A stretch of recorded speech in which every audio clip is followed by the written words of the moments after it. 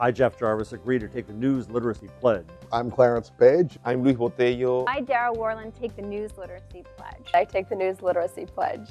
I'm proud to take the News Literacy Pledge. Because I want a consumer of media that is critical. I would love to inform and educate my students. So that they can better understand how to make smarter, more informed decisions in their lives. And that there's tremendous power in information. There's like so much information to wade through. News literacy is a way to be critical about the information that you get on everyday news. How to find reliable news sources. To continue to help students understand the importance of where their news comes from. Because young people want and need to be engaged participatory citizens and we as adults need to equip them with the tools and the training to let them.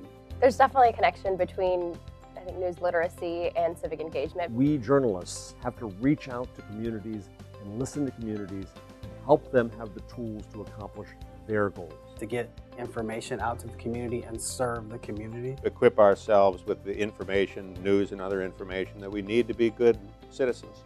For our society to thrive, for us to become more engaged citizens. Because we need people who are taking the news seriously. This means being an honest citizen.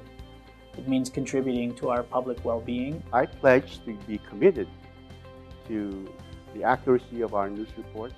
To be transparent in the reporting we do. Maintain a skeptical eye. Get the facts right. Continue to question all the crazy things that pop up in my Facebook feed. And try to be fair and try to bring more point of views uh, to the table. I will guarantee that that information is well researched, fact-based, and objective. And I promise to uphold the principles of news literacy. And I take the News Literacy Pledge. I take the News Literacy Pledge. We're the McCormick Foundation's journalism program. I took the News Literacy Pledge. I took the pledge. I took the pledge.